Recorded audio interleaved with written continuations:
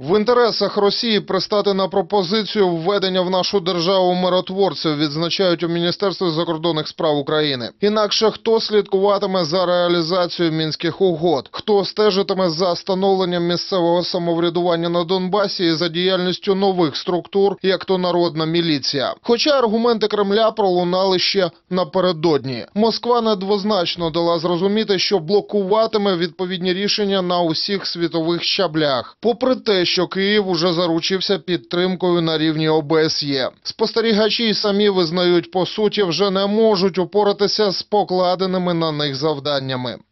Бойовики чинять систематичні перепони в роботі міжнародної місії. Президент парламентської асамблеї ОБСЄ Ілка Канерва вимагає припинити тиск і залякування спостерігачів місії ОБСЄ на сході України, які регулярно трапляються з боку бойовиків. За його словами, погрози і стрілянину в бік місії більше терпіти не можна, і ОБСЄ підтримує направлення миротворців на Донбас. Водночас найвище керівництво ОБСЄ констатує, мирний процес просувається надповільно. Сторони конфлікту навіть не приступили до розгляду других, третіх, четвертих параграфів мінського документу. Поки немає прямих контактів на всі актуальні теми, задекларовані у мінських угодах. Немає прямих діалогів ані про місцеві вибори, ані про конституційну реформу, навіть про повне звільнення заручників. І досі всі ці питання не обговорюються регулярно окремих робочих групах. Ми матимемо безліч непорозумінь і купу недовіри.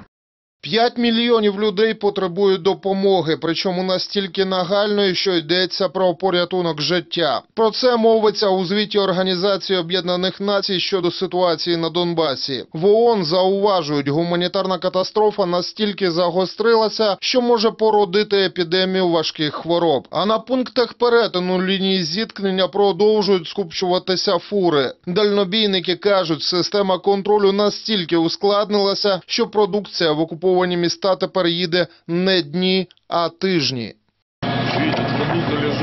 Курица уже тает, вот она уже, можно сказать, вот она мягкая, вот, течет. Там мокро. Две недели вот в машине она лежит, Електронна система перепусток для простих громадян пробуксовує. У службі безпеки проблему назвали суто технічною і пообіцяли виправити якнайшвидше, вірогідно навіть до великодніх свят. исходя из возможностей технических, чисто технических, вот и получается, что мы в день э, принимаем порядка 300 заявлений. Приехала я 23 числа марта. Мне талончик дали только на 25 мая.